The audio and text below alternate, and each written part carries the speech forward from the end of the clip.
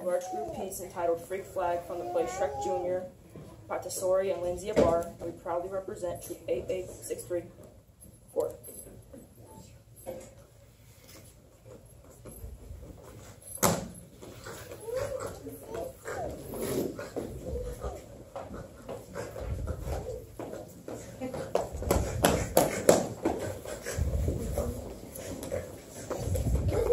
ogre